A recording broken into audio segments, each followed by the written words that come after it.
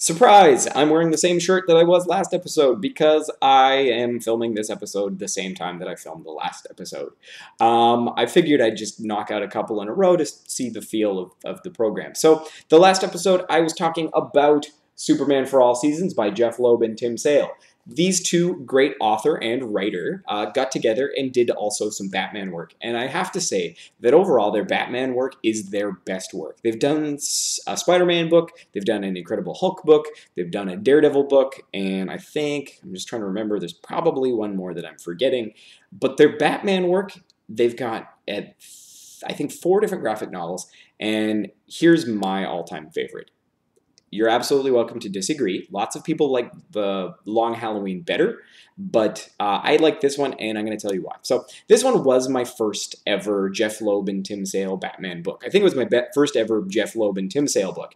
And at very first, the very first time I encountered this book, I saw Tim Sale's art, and I was like, that's kind of weird. I, I, don't know how I feel about this. Uh, as you can see, uh, I love this book so much that I have got Tim Sale to autograph my own copy of that. That is him. He wrote this to me Dave, and that's Tim Sale, which is really cool. Um, so, the thing about this particular book, it's big, it's fat, it's a lot thicker than the last one, and uh, this is a great place to start if you're not really sure about Batman. Um, if you're not sure about Batman, if you've never seen a Batman movie, you've never kind of read a Batman comic, uh, you probably know who Batman is. He's Bruce Wayne, a billionaire, and also he is Batman. And the question that you have to ask when you're asking, like when you're looking at Batman, is who is Batman? If we were to compare with Superman, Superman, the real character is Clark Kent, and Superman is the costume he puts on to save the world. Think about that for a second. Now, when we're talking about Batman, he is Batman. Bruce Wayne is the costume that he wears. Got it? So Bruce Wayne is a character. The real guy is Batman. If he could be Batman all the time, he obviously would. Now, this particular book sort of explores that in an interesting way, and it asks the important question why does Batman have a sidekick? Does Batman need a sidekick? Why does he need a sidekick? What's the point of a sidekick? Why would you hire a kid to work with you fighting crime and diving into, you know, dangerous situations and probably getting yourself killed? That doesn't seem very responsible, does it? And originally, if you read the kind of intro story here, uh, Jeph Loeb was asked to write this story, and he's like, well, this is stupid. I don't like the idea of Robin. This never made any sense. But as he picked away at this story, suddenly he realized, like, oh, I get it. Batman can't just do this by himself. Batman is a guy with no superpowers. You know that. And without superpowers, he comes up against limitations all the time. He's trying to save the world's most corrupt and messed up city. There are corrupt police officers, there's gangsters, there's the Joker, there's the Scarecrow, there's the Mad Hatter, there's all those other kinds of villains running around. Batman can't do this alone. He relies on Alfred to save him all the time. Uh, he relies on Robin later on, which we will kind of look at in a sec. He later comes to rely on Batgirl and Oracle and all these other casts of characters because, let's be honest, he's got an impossible job and it's pretty important. So, this particular book kind of picks up where The Long Halloween left off. If you haven't read The Long Halloween, don't worry about it, just read this, and then you can read The Long Halloween later. But the thing you need to know is that Harvey Dent, is Batman's was once Batman's best friend. Harvey Dent was the district attorney, and the two of them worked together to, you know, Batman would catch the bad guy, and Harvey Dent would help to prosecute them, and Commissioner Gordon was helping to run the police. So those three are, are an essential team, and they work together, and, and that's how kind of Batman worked for a while. But Harvey Dent gets half of his face scarred and half of his mind scarred, and he is uh, kind of fractured in half, and he becomes Two Face. Uh, Batman's probably most interesting villain. Most people are going to tell you the Joker is the best villain. Uh, those are people who haven't read enough Batman comics, to be completely honest. Like, the Two Face is the best villain because of this aspect of like Harvey Dent is his best was his best friend and how can you really like bring your best friend into justice? And and how can you really fight crime against your very best friend from a long time ago? Um, is he really like gone forever? Is there a chance of redeeming him? All of these are kind of important questions along the way. So in this particular story there is a murderer who kills on holidays uh, this is suddenly harkening back to a previous series of murders that took place on holidays. And so Batman is trying to uncover who is the holiday killer.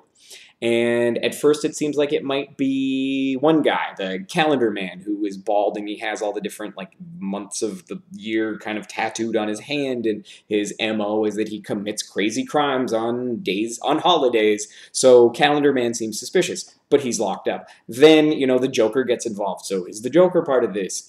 Could it be Two Face who's committing these crimes? Because the killer is killing corrupt people, particularly corrupt police officers, and that's something that Two Face might do or Harvey Dent might do. Or could this all be related to the, the Falcone Mafia because there was another series of murders that took place and involved them? And so Batman's trying to uncover this, and keeps kind of crashing up against wall after wall after wall because the Joker is loose and Scarecrow is loose and the Penguin is loose and the Riddler is loose and all those other kinds of things. And meanwhile, the Falcone mob is moving in and taking over territory, and Two Face is uh, making his life miserable also and you know might be trying to hunt down his ex-wife and and all this other kind of stuff so batman is way over his head when a tragedy strikes at the circus which you probably know about, and this young boy, Dick Grayson's parents, are killed, and he is now an orphan. So was Batman.